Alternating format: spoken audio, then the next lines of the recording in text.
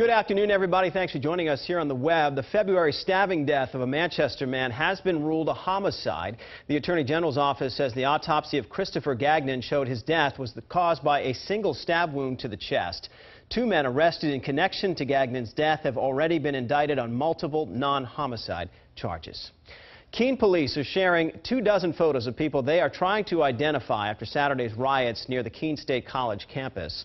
Police say these people were seen engaging in criminal acts and could face charges. More than 1,000 people were involved in the incidents. The crowds threw rocks, bottles, and other objects which injured a number of people.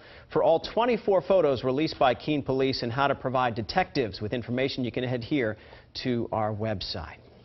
The defense got its chance this morning to question the lead investigator in the case against Christopher Compass. Prosecutors say Compass broke into his former girlfriend's home and attacked her with a knife. As Ray Brewer reports, the defense has a very different version of events and today continued its attempt to cast doubt on the prosecution's version of what happened. With the lead investigator on the stand, defense attorney Jim Rosenberg continued to try and make his case that his client, Christopher Compass, is innocent. The victim says that Compass, her ex-boyfriend, broke into her place and attacked her with a knife, cutting her in several places. Those are superficial wounds, right? Yes, again, not deep enough to require any kind of stitches.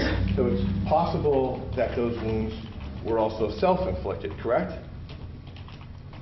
Um, it's possible. Dawn Shea was a detective sergeant with the Pembroke Police Department back in February of 2012 when the attack allegedly happened. She admitted on the stand that police quickly established the defendant as the lead suspect in this case based on statements. Rosenberg tried to cast doubts about those statements. For instance, the victim testified she kicked her attacker several times. Rosenberg asked about Compass's condition when he was arrested. He certainly didn't have any bruises or wounds consistent with being kicked by the alleged victim as she described, right? There were no injuries noted. Shea also admitted that the knife that was apparently used in the attack could have come from the victim's house and that no neighbors reported hearing anything out of the ordinary that night. But as to why Compass was arrested, Shea kept coming back to a simple fact. We believe the victim in this case, yes. The prosecution is expected to wrap up its case tomorrow. Then the defense will begin. At this point, we don't know if the defendant will take the stand.